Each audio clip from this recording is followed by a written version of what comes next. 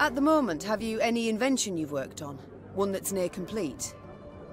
Oh, so kind. Oh, wonderful, you should ask. See, I've, uh, I've ever had an avian fascination. Uh, for birds, you see. Their wings, bones. The structure's perfect. The aerodynamicism, the, the, the plumage.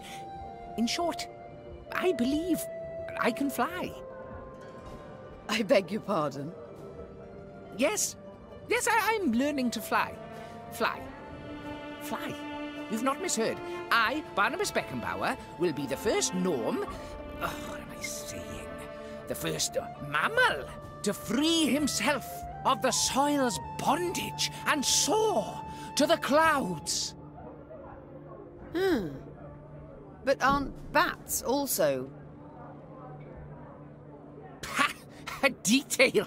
This is no time to be petty. No, but frankly, my preparations are far advanced, and I'm rather optimistic about my design and prospects.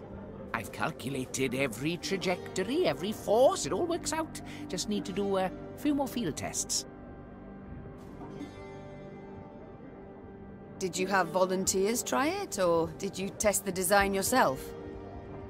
Naturally, I must stay on the ground who take all the measurements elsewise. Uh, luckily, there's no lack of thrill seekers in Mahakam. Most eager to etch themselves into the annals. My first prototype, the Skylicker, I dubbed it. Oh, your majesty, if you'd only seen the beauty. Flew over a 120 Ls. Truly? Colour me impressed indeed. Must have made quite the name for himself, your brave volunteer. I'm certain he's caught the eye of every she-dwarf in Mahakam since. Oh no, he's dead. The landing, it was rough. And then a bear sauntered by, uh, didn't help any.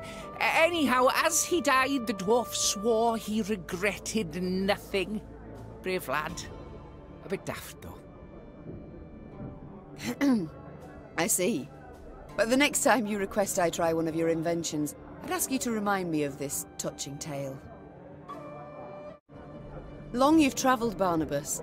The wonders you must have seen. Likely visited many exotic lands before you reached Mahakam. Oh, Kovir, yes. Metinna, yes. Nazair, doubly. Zerrikania, gods, yes. And Korath, even.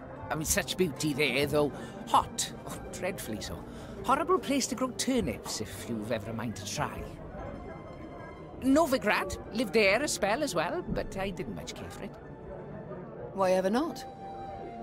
The Hierarch, intractable man, banned one of my inventions, condemned it as unholy, vile, etc., etc. Decided he would burn both of us at the stake.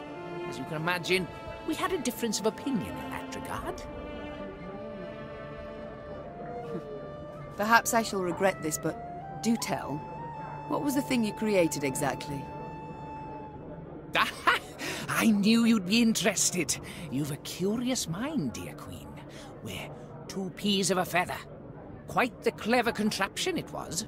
Made for a widow, wealthy, but aching with longing.